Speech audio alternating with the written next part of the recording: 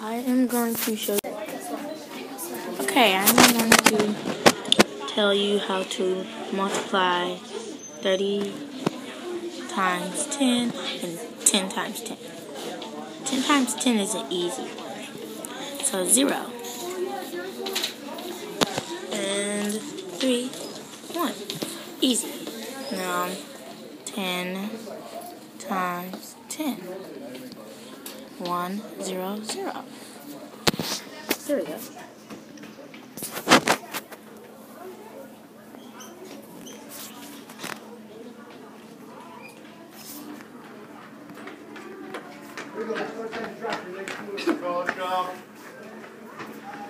And that was multiplication two digit numbers.